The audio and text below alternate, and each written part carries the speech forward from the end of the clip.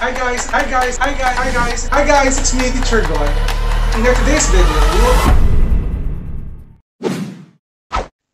Hi guys, it's me, Teacher Gon. In our today's video, we will talk about how to convert an equation of hyperbola from the standard form to general form. By the way guys, this topic is a requested topic from our subscribers and followers sa ating Facebook page. And if you want to follow our Facebook page, simply search sa Facebook yung Math Teacher God. So without further ado, let's do this topic. Ngayon meron tayo itong dalawang equations, which is, which is yung ating um, standard form if, the if the hyperbola or if the center of the hyperbola is not located at the origin, meaning nasa HK.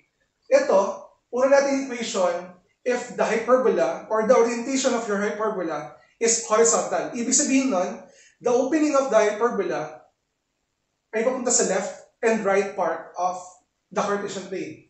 And syempre, yung inyong transverse axis doon ay horizontal. Ito yung kanyang equation. We have x minus h squared over a squared minus y minus k squared over b squared is equal to 1. Guys, review lang tayo ha if yung x natin ay yung merong squared at positive, ibig sabihin, the orientation of your hyperbola is horizontal.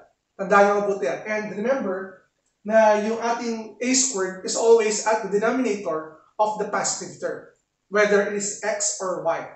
Now let's move on with the second equation. Yung second equation naman natin is that if your hyperbola yung kanyang opening or orientation ay pa-vertical. Ibig sabihin, yung opening ay upwards and downwards. Dito naman, makikita nyo agad siya once the y variable is positive or the y term is positive. So, ito naman yung ating ano, general form. We have ax squared plus by squared plus c squared plus cx plus dy is equal to c is equal plus e is equal to 0. Ito na yung general form ng ating convex section, starting from circle up to the hyperbola. So we have here example number one, or our example throughout this video, in which we are given y plus 2 squared over 16 minus x plus 3 over 4 is equal to 1, in which ang target natin is to convert this standard form. Again, eh, this one is already in standard form. Ang target natin is to convert this into the general form. At mapansin nyo, yun lang natin, by inspection, uh, the variable y here is the positive term, meaning the orientation of our, our hyperbola is ito, o vertical. Okay? Now, sir, paano nga ba siya kino-convert into general form? Basic lang, guys. As you can see, meron tayong denominators na 16 over 4 ang target natin is to remove the denominator 16 and 4. So, sir, what is the first step? The first step is to multiply the whole equation by 16 and 14. Huwag nyo na i-multiply muna, factored form muna siya. Multiply the whole equation, syempre ito rin, by 16 times 14. So, by distributive property, guys, When you multiply this, this will become 16 times 14 times y plus 2 squared over 16. Okay? We multiplied 16 times 14 by y plus 2 squared over 16. Next, we will multiply this. So become minus 16 times 14 times x plus 3 over 4. By the way guys, meron tayong correction dito. This is not 14. So I need to remove 1 here, 1 here, and 1, 1. Ang ating palang multiplier ay 16 times 4 lang. Sorry guys. Now let's continue. And also, for this part, we need to multiply um, 1 by 16 and 14. Ito din, multiply din natin to. And it will become 64. Okay? This is 64. Now, what's next, sir? Our next thing we need to do here is to cancel out 16 and 16. As you can see, we have 16 divided by 16. And also here, we can cancel out 4 divided by 4. And meron na tayo dito ngayong 4 times y plus 2 squared minus 16 times x plus 3 squared is equal to 64. And as you can see guys, wala na tayo ngayong denominators at malapit na natin ma-achieve to. So what is the next step? Next step is to expand your binomials here. You have here y plus 2 squared and then x plus 3 squared. So paano ba na-expand yan? And you can use Paul method. So try natin na. 4 times Shortcut na lang ba tayo guys? Shortcut na lang. First thing we need to do is to square y. That is y squared. Kasi magkakaroon tayo dito ng, ano, ng perfect square trinomial. Wherein, para makuha mo yung middle term or yung linear term, i-multiply mo lang si y and 2 and then times 2. So, y times 2 is 2y times 2, that is plus 4y. And to get the third term, or the constant, simply square the second term, which is 2 squared, that will give you 4. Minus 16, and then when you expand this, same process, square the first term, okay, that is x squared, because x times x, or x squared, is x squared. And then to get the second term, multiply the first and second term, x times 3, that's 3, 3x, times 2, always times 2, that is plus 6x. And then for the constant, guys, for the third term, square the last term. That is plus 9.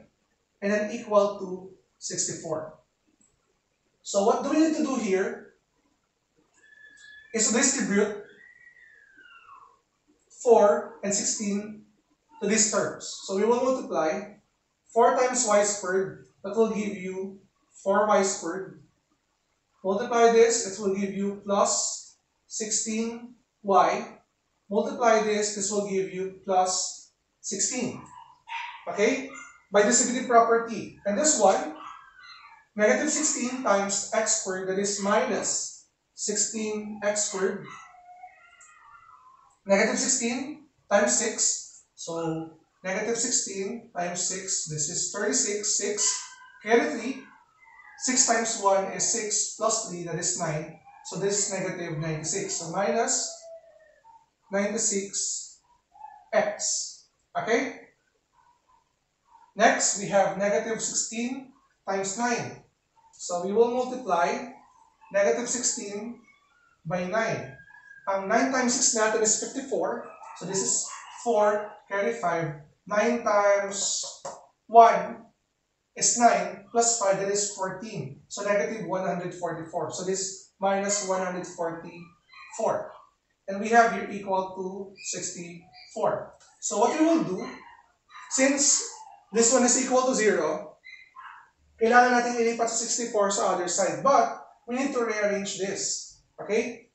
Una, as you can see guys, the first term is the x term. Though negative to, okay lang yan. So what we will do is we will try to uh, put negative 16 on the first part of the equation. We have negative 16 x squared, okay, followed by the y, which is plus 4y squared, okay, and then followed by the linear term, which is minus 96x. And then the linear term of the y variable, which is plus 16y, okay?